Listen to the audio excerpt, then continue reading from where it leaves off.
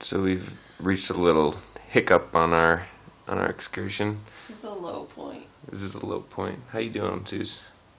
Well, I was traveling at around 40 miles an hour, and I was going too fast, and I lost control of my bike, and I fell, And what happened? and I broke my collarbone And you broke your collarbone. clean in half. But she survived. And look at her. She's up and laughing. so I will not be able to bike for probably a month. They said maybe six weeks, but I'm gonna drink a lot of milk and eat a lot of bananas in hopes that I heal faster.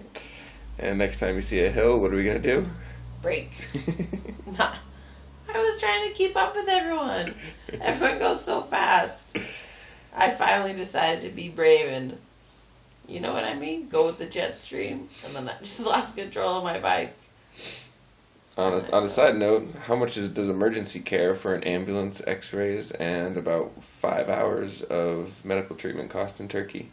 Zero dollars. It was totally free. Free.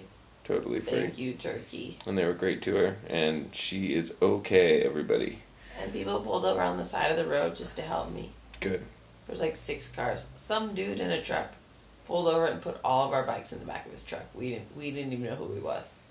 And he drove Katie and Steven to the hospital. For what happened, it couldn't have worked out better. Yeah, one broken collarbone and some road rash. And some hand knee road rash. That's not so bad going 40 miles an hour on a bike. Not at all. I'm very lucky. And Last. it's a very good thing that she's wearing her helmet. I'm not I letting. was wearing my helmet. I'm not letting her see her helmet, but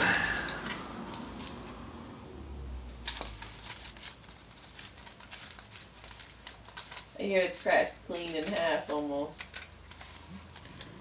it's pretty gashed up, right on the back of the head. So Always wear your helmet. we're lucky and we're okay. But And Katie and Steven are going to keep cycling. Yep. And Ski and I are going to take some time off we're gonna take a little time off the bikes. so I can heal. And then we're going to start biking again. What are we going to go, do going down a hill? Brake. Brake.